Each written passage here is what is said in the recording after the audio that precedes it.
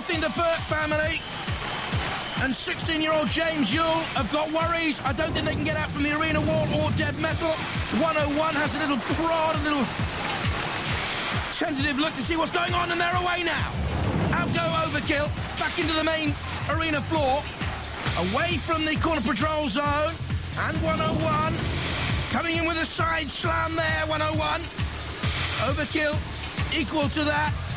One or two slight scratches and smudges to the paintwork.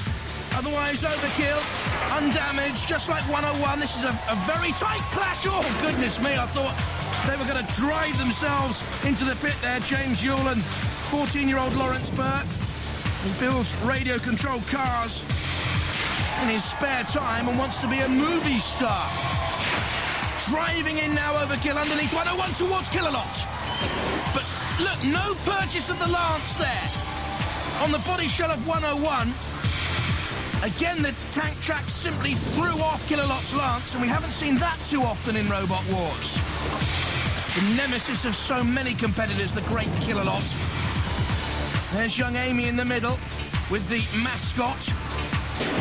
Mike Franklin at the controls.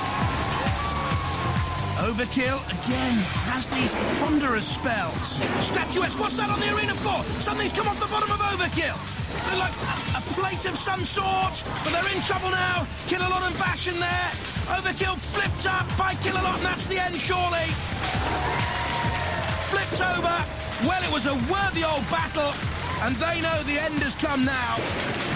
And it's merely a question of damage Six. control. That was a good fight. 101 the victors. They go through.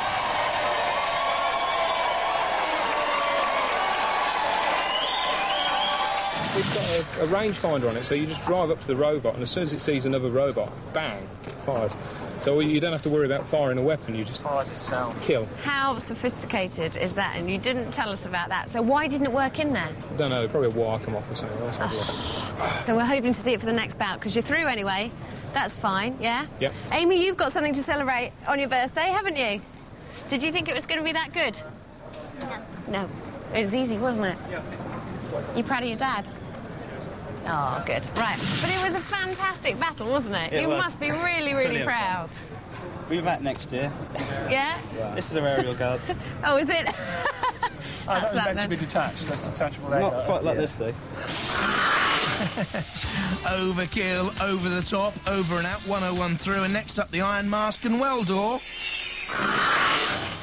From Yorkshire, the Iron Mask. A father and son team from the Sievers family. The motors come from an invalid carriage. It's axe powered by a 12 volt starter motor. The shell is fabricated aluminium. What? No iron? My name's Chris Sievers, and this is my son Tate. This is our robot, the Iron Mask. Its main weapon is this axe on the top, which is powered by this electric motor at the back. It also has claws on the rear wheels and teeth on the front. From Belfast, Weld-dor. Powered by two 12 volt wheelchair motors, this robot costs £1,800 to build, has a pneumatic forklift capable of lifting 90 kilos, and a deadly hammer. that shell's 4mm thick aluminium. Hey, my name's Phelim Lundy. This is Ryan Crilly. We're from Belfast. This is our robot Weld-dor. We've got a 4 mil aluminium shell. Um, we've got a pneumatic forklift at the front, uh, capable of lifting 65 kilos. We've got a pneumatic hammer at the rear, um, capable of puncturing holes in 3 mil mild steel plate.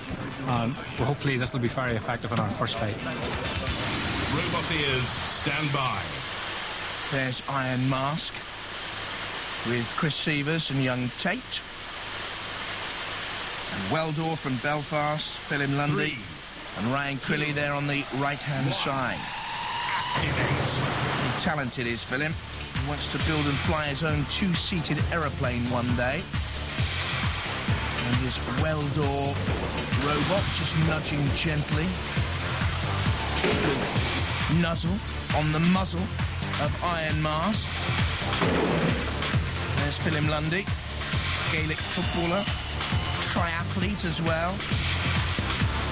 Iron Mask, a little shove. This is rather slow so far, rather pensive. Little flick there of the Iron Mask uh, axe weapon, it's powered by a 12-volt starter motor, which is on top there, and that's exposed. Weld-dor, meanwhile, under the belly, and I thought this might happen, that the iron mask at the front of the robot of the same name might cause problems and might be impaled, and that's what's happened on the spike of Weld-dor. And you see Weld-dor now can effectively drag Iron Mask where they want him to go. Dropping him, though. Iron Mask got away. No Lawrence DiCaprio in their team.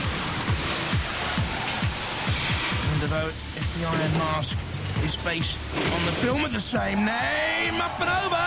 Now. Cease. Up and over and immobilised Iron Mask. Well done, Weld-dor. They go through to round two. Good fight, good fight, good game, Yeah. good game. How was that for you? Very good, very exhilarating. Uh, we certainly weren't making any impression dent in his, his uh, armour. Mm. So looking off the flipper worked well first, and uh, I think that's what done the job for us. Well, I'm not too sure about exhilarating, but Weld-dor go through the Iron Mask gone. Next up, Eric against King Buxton.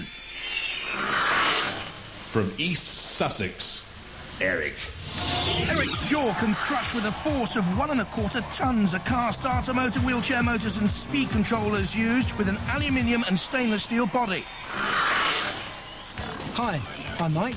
This is Ian. This is Bruce. And this is Eric.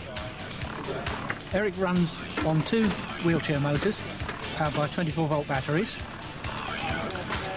The chassis is a space frame triangulated aluminium chassis fully welded.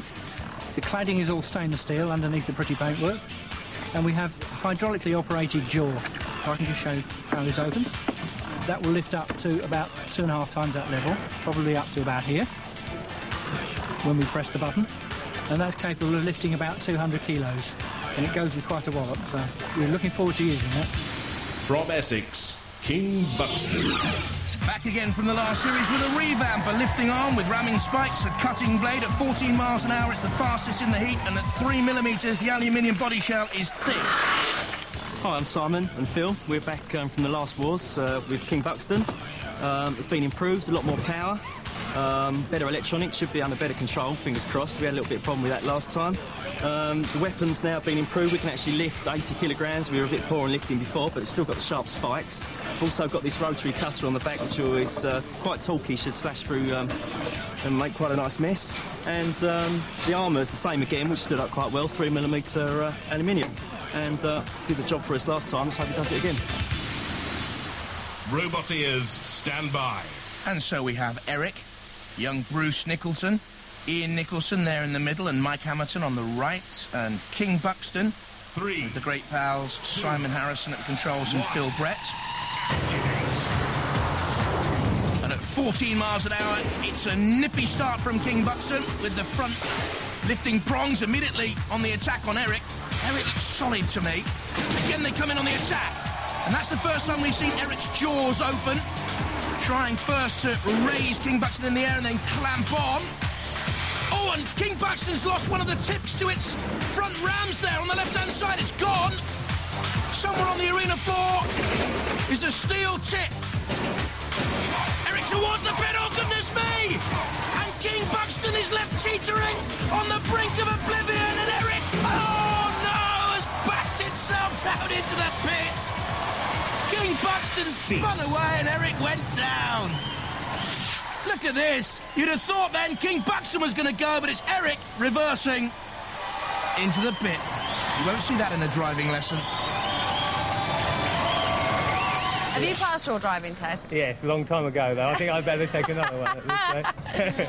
So how's the tummy now? How's the nerves? Um, I think that one's over. I think I'll be all right now. Did it did um, it go as soon as you got in there and the adrenaline started pumping and you No, started it's just thinking, as bad as ever. yes, I'm here. No. No, no, no, no. no. Were you I don't like shaking? it at all. Yes, still am. Oh, let's see, let's see. Again, No. again, again. Shaky, quaky, but through King Buxton, Weld-dor, 101 and Centurion. This is how they line up for the second round, but before that, half-time, Craig. Our survivors are recovering from that last round, so now it's time to take a breather. Now, it's a well-known fact that George Best liked to be well-oiled, but not as well-oiled as these guys. It's our robotic soccer cup. Hey, Let the trials begin.